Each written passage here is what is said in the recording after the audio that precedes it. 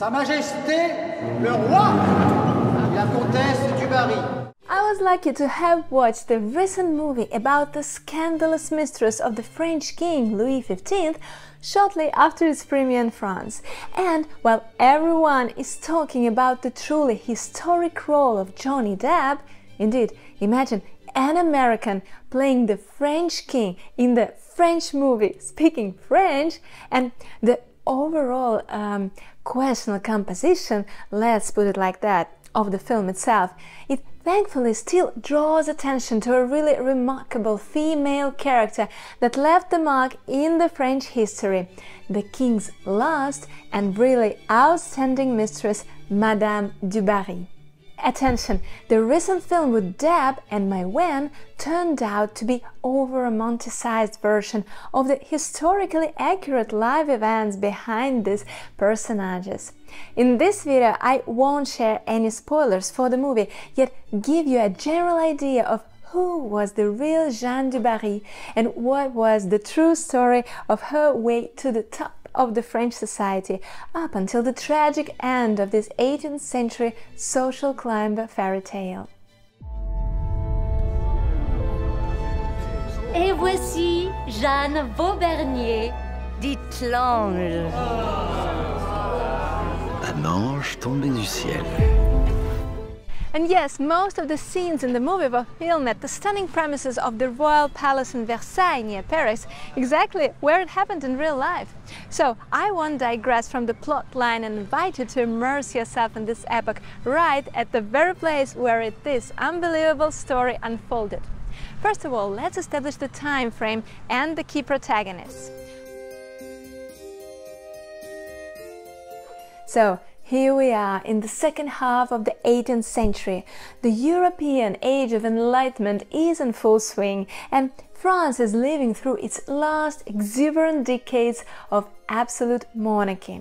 Louis XV, the great grandson of the notorious Sun King Louis XIV, has been on the throne for over 50 years. By the time he met his beloved mistress, he has already lost his wife, the queen, Marie Leczinska, and his son, Dauphin Louis Ferdinand, and his previous favorite, who then became his dearest friend and confidant, Madame de Pompadour. He was quite a popular monarch at the beginning of his reign. Well, technically, he became a king at the age of just five years old, so in any case, it's hard to hate a child, right? He even had a nickname, Le Bien-Aimé, the Beloved, which was evidently omitted by the time of his death when he left the country to his grandson in almost pre-revolutionary state. Sa Majesté le Roi aimerait revoir Madame. Très bien. Quand cela Maintenant, s'il est possible à Madame.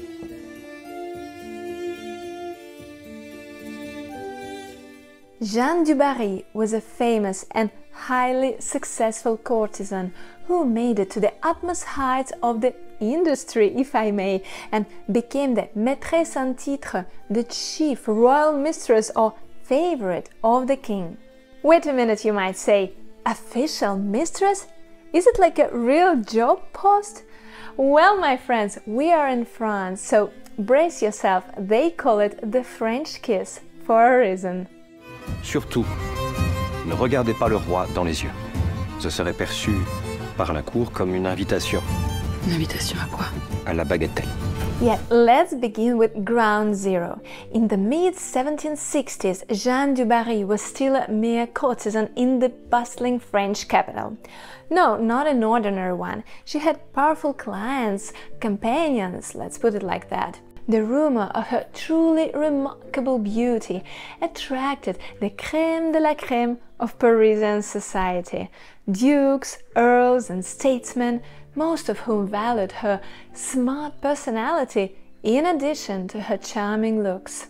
Frankly speaking, Jean wasn't du Barry at the epoch. In the French language, these articles de, de la, or du are the rudimental signs of nobility. Simply put, they are like of in English. Caroline of Brunswick, Charlotte of Mecklenburg-Strelitz, for example. Back in the day, a de in the surname wasn't a rudiment and usually signified that the person belongs to some noble landowning family. Jeanne's roots were far away from being aristocratic. She was born in 1743 to her commoner mother, Anne Bécu, later on Son, who was a seamstress, and the identity of her father remains unknown until today. There were rumors ignited by Jeanne herself that it might have been a priest, Jean-Baptiste Gomard of Vaubernier, or his relative Jean-Jacques, yet no bulletproof evidence has been found ever since. There were basically only two ways to proceed in life for a girl of her social status. First one, she could have stayed in service and become a modiste or flower girl or maybe grow to have her own little shop. Or she could have tried herself in the shady yet way more joyful at the first sight circles of the demi-monde. Mi-monde and the girls who rule there, mi-mondaine, have stepped onto the glittering yet slippery path of becoming mistresses or prostitutes next to the men in power and simply those who had money. They were usually one and the same people in the 18th century France. Are you familiar with Honoré de Balzac and his multi-volume sequence of human comedy, La Comédie Humaine? He spent a great deal of time describing the life of this vulnerable social class, particularly in his fabulous splendors and miseries of courtesans. Another sneak peek of the world was given by Alexandre Dumas fils in La Dame aux Camélias, The Lady of the Camellias. So, those who have read those French masterpiece novels would immediately recognize the type of the girl we are talking about. For those who haven't yet, I'll give some helpful tips. They were coming from insecure lower classes in society with malfunctioning social lifts that wouldn't allow them to make a career and jump over to another stratum in one generation. They would possess some natural beauty and liberal spirit, be light-hearted, fun and friendly, eager to become a companion for a gentleman when he needed that, and meekly hide in the shadow when the rules of the daylight society would require so. That's why they were called mi-mondaine. Mi means half in French. So, in such a couple, a man would usually come from the legit society, monde or ton, and a girl, a woman, wouldn't be even accepted by the proper polite society. In other words, only half of the pair is someone who is noticed and socially accepted. The other part is barely tolerated. I said tolerated for the purpose. In fact, it wasn't much of a secret that the majority of gentlemen would have a mistress or spend time in the company of several female companions in addition to a lawful wife. This was a sort of unspoken status quo, a bit uncomfortable perhaps, but a working solution to keep your image of a married person and at the same time indulge yourself in the wonders of Parisian nightlife. The key component here was money. One would have to afford that somehow. And that was the key performance indicator KPI for a successful courtesan. How much was she worth was a merit of her success in this field. And believe me, the best of them were the richest women in Paris. Well, most of them, if not all, sooner or later ended up their lives in misery. Yet that's a whole nother story. Back to Jean. She was lucky. By the age of 25, she has secured an impressive lot of clients. The famous Duke of Richelieu was one of them. She had established a sort of partnership with one of her first noble friends, Count Jean du Barry. C'est pas ça l'amour. It almost looks like the versions of the same name in this pair. Jean and Jean weren't a coincidence. Both were really industrious and notorious when it came to their financial independence. Jean du Barry didn't have a stable income. The legitimacy of his noble title of Count was questionable, but all that didn't prevent him from enjoying life to the fullest. He was of rather liberal spirits and found creative ways to support his lavish lifestyle. He was a gambler uh, and a pimp for his proper lover. Sois gracieuse, comme tu sais l'être, tu as tout le reste. N'aie pas peur. J'ai pas peur. Once he fed his personal appetite with Jean, he came up with an idea that, let's put it bluntly, he could sell her services for other men and then split the money with Jean herself. Everything worked smoothly, and in 1765 he came up with an almost insane idea of presenting her to the king. Jean du Barry veut que je vous présente au roi. That was a truly daring plan, but it worked. Apparently, the charm of young Jean made the king spot her out of court crowds at Versailles and make her his lover.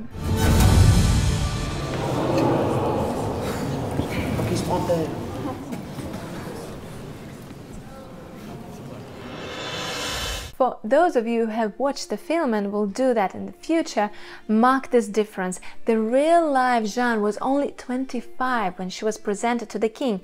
The fictional heroine of Maïwenn is almost twice older. Up until this point, nobody in the royal entourage worried about the situation. Yes, a courtesan. Yes, at the court. Awful, disgusting, but okay, she's just a girl for a night for two nights, well, a week. She will soon fade away, so we keep calm and carry on. Imagine the surprise of the crowds when Jeanne, the daughter of a seamstress, was nominated the official mistress to the king, oh, his favorite.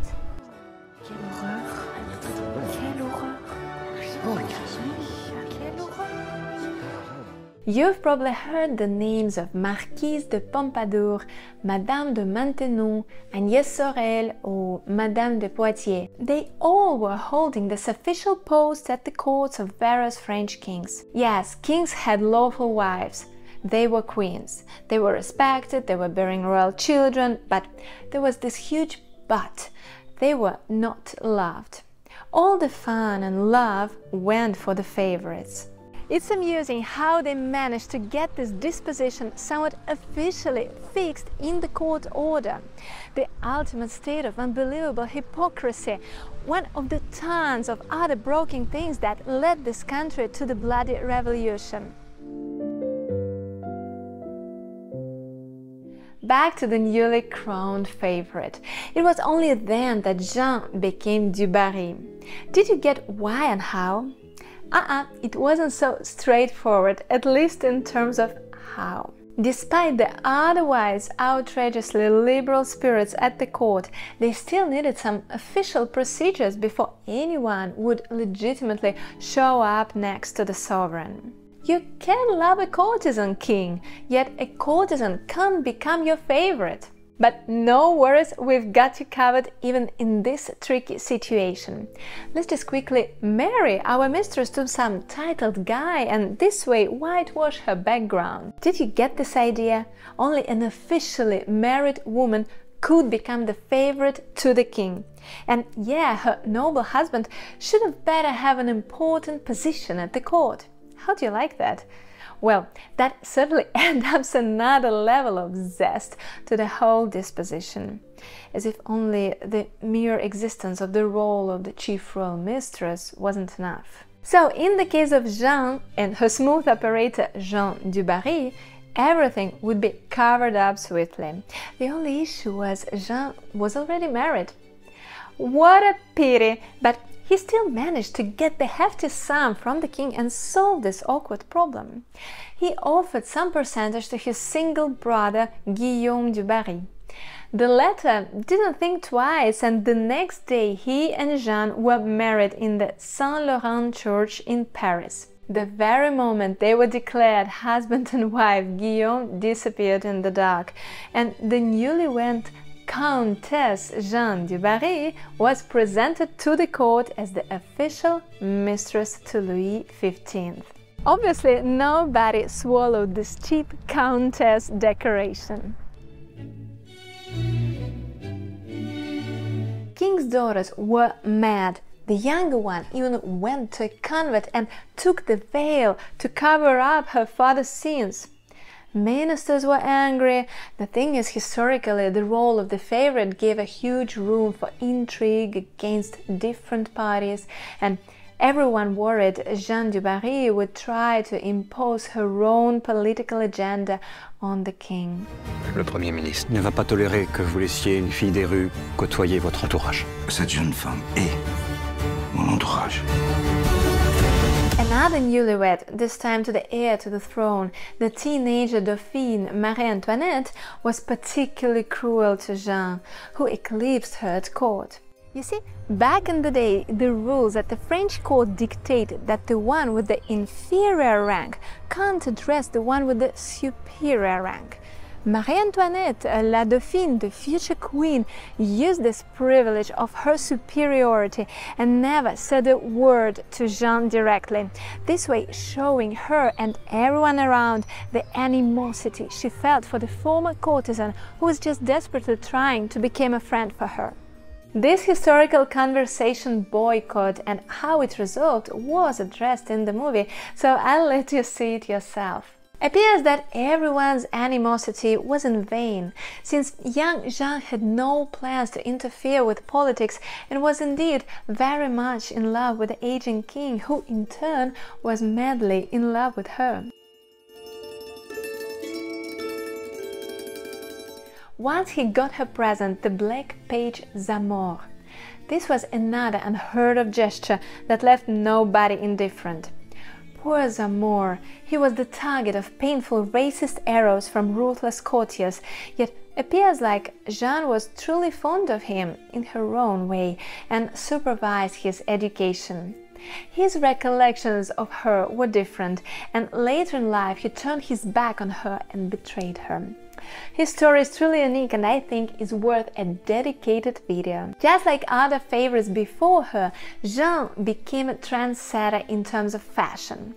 She was known to become the first woman in the French court to appear in male dress in public. In fact, she was indifferent to her clothes, preferring a certain romantic carelessness in dress the thing the court ladies harshly critique her for, and nevertheless followed her daring attitudes. She was a keen art lover and a patron of arts and became friends with the most famous artists and thinkers of her time, keeping the friendship with Voltaire until his death in 1778. The king also gifted her a personal residence, Château de Louveciennes, where she spent her time when falling out of favor and after the king's death. Here you can see that it has survived in a decent state until our days. All in all, she managed to keep the cabinet of the official mistress for six years until the very death of the king from smallpox in 1774 at the age of 64. One of the first decisions of new king Louis XVI was to imprison the former favorite of his grandfather in a secluded monastery. Jeanne was only 33 then, and even in exile, her life was far away from its end. Despite her controversial past, she managed to make friends with the nuns and the abbess, and some of her former powerful friends at the court made everything to secure her release. So the new king, Louis XVI, had to surrender and let her out after about a year at the monastery. Jeanne was still very young. Her beauty was apparently with her. She still had a beautiful chateau and some decent means of financial support she earned in the past. So the feast of life didn't stop for her. She got together with Duke of Brissac, who felt for her years before and patiently waited for his chance ever since. They say they fell madly in love, and overall, Jeanne lived a happy and trouble-free life. However, looks like she never learned the basics of political intrigues and never paid attention to how the wind blows. When the first waves of the French Revolution unfolded in the late 1780s, she didn't flee the country and carried the same lifestyle she used to in the years of the fluff of absolute monarchy. She didn't consider herself an aristocrat, and the rebels seemed to have forgotten about her in those years, and she kept corresponding freely with some emigre monarchists who fled to England and other countries afraid for their heads. Eventually, she came onto the radar of the angry public, and following the path of her previous friends and foes at the court, the same Marie Antoinette, for example, she reluctantly climbed the scaffold at the Place de la Concorde in central Paris. Rumor has it her last words before the end were One more moment, Monsieur Executioner. That was the true story of the remarkable Jeanne du Barry. Her figure is veiled with mystery. Coming from nowhere, she made it to the top of the French society and claimed the most powerful female position at the court. Today they often paint her in feminist colors. I doubt if she really was one. She lived in another time when values and merits were counted differently. Yet one thing is unattainable there she knew how to love. She knew how to make friends. She was loved and cherished, and she drank her joy of living to the last drop. Thank you for going through the life of Jeanne du Barry with me here today. Her portrait opens up a gallery of other, no less captivating life stories of her compatriots on my channel. I hope you decide to subscribe and see you in my other videos. Bye!